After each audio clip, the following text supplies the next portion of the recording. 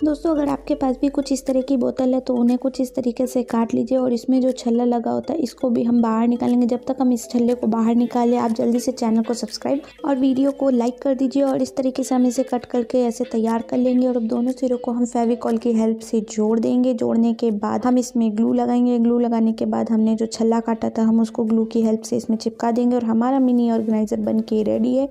इसमें हम अपनी छोटी छोटी सी चीज़ें सेव करके रख सकते हैं। देखो, जैसे मैंने इसमें अपनी पल्स रखी हुई हैं।